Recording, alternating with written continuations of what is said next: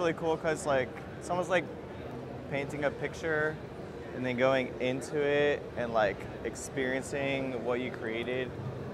And I mean, it, it reminded me like of Minecraft, but it's like I think it's better because it's like it's easier and More realistic. it's more realistic in the water and stuff.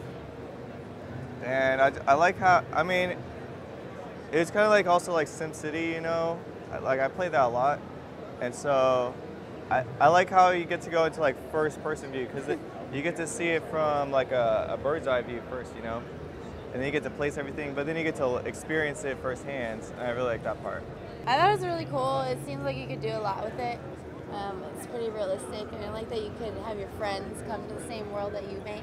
I know that game Second Life. Have you heard of that game? Well, it's like you get to like build like a like a house and like you invite people over and like have like parties like in the virtual world.